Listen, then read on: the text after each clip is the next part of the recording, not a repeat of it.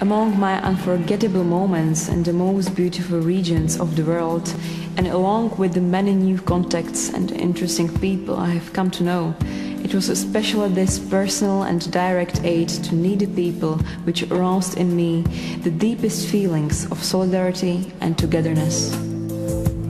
Thanks to this experience, I have found a new sense of purpose for my future life.